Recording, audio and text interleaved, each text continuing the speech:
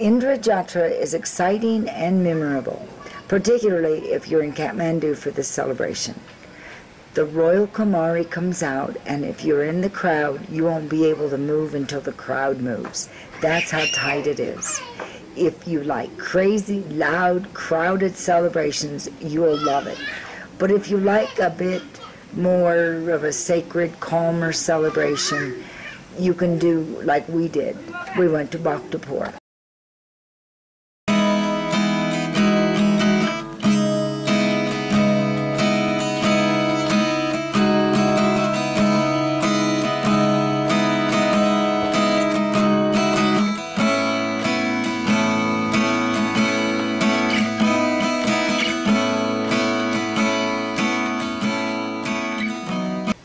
Indra, god of heaven, is responsible for rain, so it's only fitting that he be shown appreciation for such a lovely monsoon. Unfortunately, due to man's misuse of our planet, the monsoon that blessed our Kathmandu Valley also caused some serious flooding for the unfortunate Nepali and Indians in the lower elevations. As we enjoyed the ancient city during the day, there were several small groups playing music and chanting. It was quite lovely.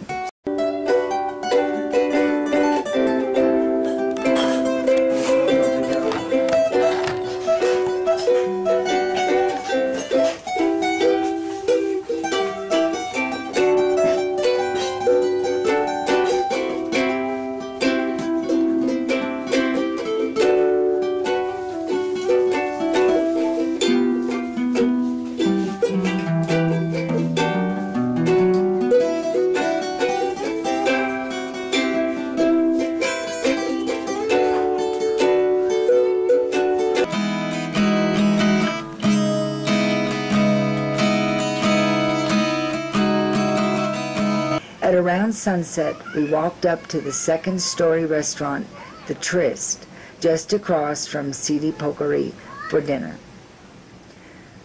As we waited for dinner, there seemed to be an unending procession of people coming down the street, going into the huge brick lined pond to walk around it. Devotees brought clay cups, a wick, and oil. These burned for quite a while before burning out. Then the god came in a chariot with the crowd playing music and bringing gifts.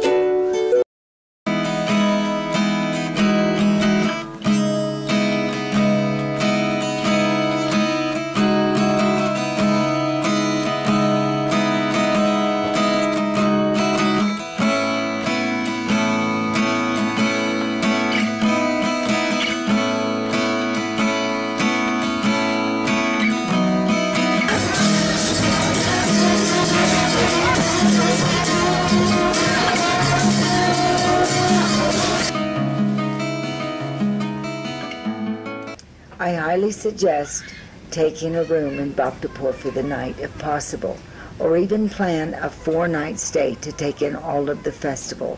It does actually go for about four or five nights. Although you can find a guest house on booking.com or Airbnb, you really do not need to book ahead. Just don't let them see your luggage when you inquire about a room. Pick a couple of guest houses online and see what you like when you get to Bhaktapur. We got a better deal on a bit better guest house than we did during Gai Jatra. Although still Nepali managed, it was really the cleanest guest house, guest house I've seen in Nepal. This $25 room had a sitting area and even a TV. There was a place on the rooftop for dining.